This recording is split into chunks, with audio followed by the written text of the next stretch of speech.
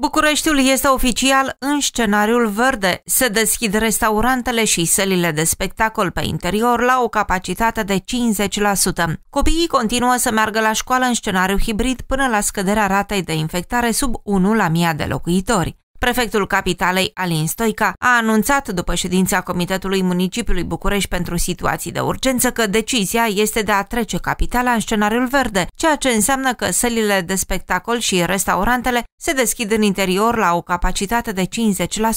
Pot fi organizate evenimente culturale în aer liber cu până la 300 de participanți. În ceea ce privește școlile din București, vor fi deschise în totalitate după ce rata de infectare scade sub 1 la 1000. Restricțiile de circulație pentru timpul nopții rămân valabile pe perioada stării de alertă, a adăugat Alin Stoica.